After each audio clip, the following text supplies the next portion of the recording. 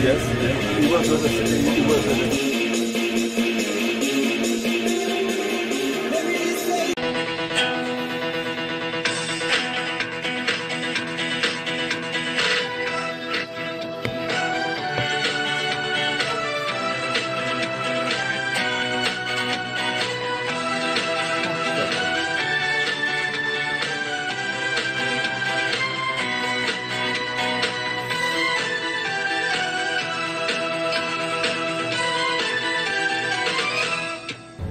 구두상으로 해도 상관없나요? 네.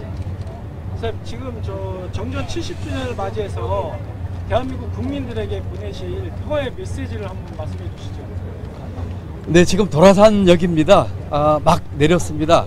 아, 도라산역은 남쪽에서 보면 마지막 역인데 앞으로 통일이 되면은 북으로 가는 첫 번째 역이 될 것입니다. 앞으로 이 평화와 통일을 위한 대장정을 오늘 우리 DMZ 아, 평화 걷기로 해서 경기도민과 또 많은 외교 사절과 함께 하려고 합니다.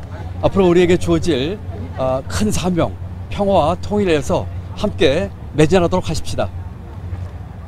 네, 두 번째 질문. 네, 박 기자님. 네, 그 이제 이번에 우리 그 남북 관계가 지금 이제 좀 좋지 않은 상황에서 이제 행사를 하시게 된그 근본적인 이유가 좀 있을까요? 네, 저희는 그 DMZ 오픈 페스티벌 하고 있고 그 첫 번째 행사로 오늘 어, DMZ 걷기 대회를 하고 있습니다. 오늘 제에 계신 우리 프랑스 대사님을 포함해서 20여 개국 외교 사절과- 또 수백 명의 우리 경기도민과 함께 이 길을 걷습니다. DMZ는 크게 두 가지를 상징합니다. 첫 번째는 평화, 두 번째는 생태 또는 환경입니다. 오늘 이 DMZ 행사를 계기로 해서 평화와 통일을 위한 우리의 의지를 보여주고 또한 기후변화에 대응하는 우리 경기도의 어, 아주 진보적이고 또 대담한 담대한 어, 환경 보호도 또 생태 보존도 함께 추진하겠다는 각오를 보여드리고 싶습니다. 네, 하나 더 받겠습니다. 네, 박대용 기자님. 박 기자님.